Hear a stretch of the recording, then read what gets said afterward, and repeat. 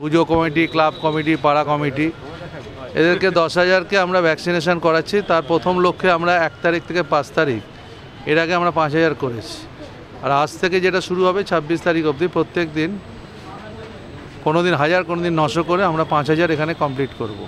আমরা চাই আমাদের এই এলাকায় যত ক্লাব, পুজো কমিটি, জগদ্ধাত্রী, দুর্গা, কালী, ঈদ কমিটি পাড়ায় যদি এ থাকে কমিটি, ওই অনেক বাজারে পোষকালী হয়, অনেক বাজারে লক্ষ্মী পুজো হয়, তাদেরও বলেছি যুক্ত হতে এবং খুব ভালো সারা, আর খুব ভালোভাবেই হচ্ছে ভ্যাকসিনেশন সকলকে আমার শুভেচ্ছা।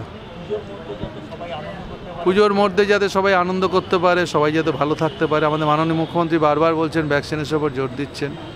বারবার তিনি বলছেন কেন্দ্রীয় সরকারকে বেশি করে ভ্যাকসিন পাঠানোর জন্য। সরকারিভাবে যেমন হচ্ছে, তার সঙ্গে বেসরকারিভাবেও আমরা চেষ্টা করছি, বিনা পয়সায় মানুষকে ভ্যাকসিনেশন আজ তাক বাংলা, জানুন সব খবর সবার আগে। সাবস্ক্রাইব করুন আজ তাক বাংলা, বেল আইকন প্রেস করতে ভুলবেন না।